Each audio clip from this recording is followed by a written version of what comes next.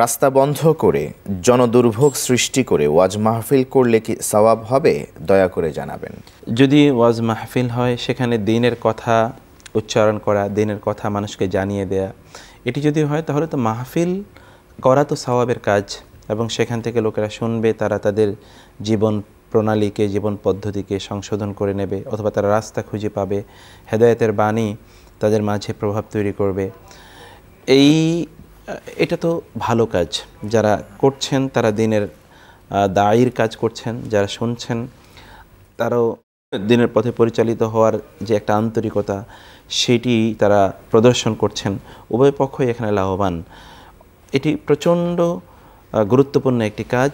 যুগে যুগে নবী রাসুল্লাহ যে কাজটি করেছেন, এই দাওয়া বা মাহফিল ইত্যাদি প্রোগ্রামের মাধ্যমে নবী রাসুলদের উত্তরসূরীরা, ওলামায় কেরাম, তারা এই কাজটিকে আঞ্জাম দিয়ে যাচ্ছেন। রাসুলাম বলেছেন নাহনু মাশারুল মাশরুল আম্বিয়া লা নুয়ার রিসুদ্দিনার ওয়ালা দিরহামা ইন্নামা নুয়ার রিসুল ইলমা ফামান আখাদাহু আখাদা বিহাউজিন ওয়াফির। আমরা নবীরা কোনো সম্পদ উত্তরাধিকার হিসেবে রেখে যায় না। জ্ঞানকে উত্তরাধিকার হিসেবে রেখে যায় যারা এই জ্ঞানকে ধারণ করল তারাই আসলে পরিপূর্ণ অংশটা গ্রহণ করতে পারল।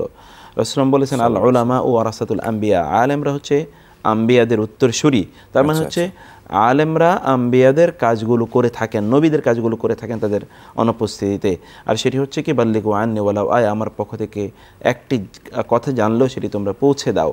অতএব এই পৌঁছে দেওয়ার দায়িত্ব তো আছেই। এই পৌঁছে দেওয়ার কাজগুলো তারা করছেন। তারা একটা সাদাকায় জারিয়ার কাজ করছেন। যত লোক এই কথা শুনবে প্রত্যেক লোক মিলে যত স্বভাব পাবে একা যিনি এই দাওয়াতের কাজ করছেন তিনি একা ততটুকু স্বভাব পাবেন যদি এই লোকের মাঝে ইম্প্যাক্ট তৈরি হয় এবং তিনি যদি এখলাসের সাথে এই কাজটি করে থাকেন। কিন্তু এই কাজগুলো করার জন্য কিছু শর্ত আছে। যেমন খুবই উত্তমভাবে মানুষকে এই নসিহতগুলো প্রদান করা খুবই প্রজ্ঞার সাথে এই কথাগুলো বলা স্থান কালপাত্র বোঝা যেই ভাষা মানুষ বুঝে সেই ভাষায় কথা বলা কোরআন এবং সন্না থেকে আলোচনা করা ইত্যকার অনেকগুলো শর্ত আছে। তার পাশাপাশি আরেকটি শর্ত আছে তা মানুষের কোনো দুর্ভোগ বা কষ্ট তৈরি করতে পারবে না। কারণ রসুলাম বলেছেন যে ইমানের সত্তরেরও বেশি শাখা আছে। তন্মধ্যে সর্বোচ্চ শাখা হচ্ছে লা ইলাহা ইল্লাল্লাহ আর সর্বনিম্ন শাখা হচ্ছে ইমা তাতুল আদা আনি তরিক। রাস্তা থেকে কষ্টদায়ক জিনিসগুলো দূর করে দেয়া। রাসুল ইসলাম বলেছেন ইদা উল মিনি না কুফরন। মোমেনদেরকে কষ্ট দেয় এটা হচ্ছে কুফরি কাজ।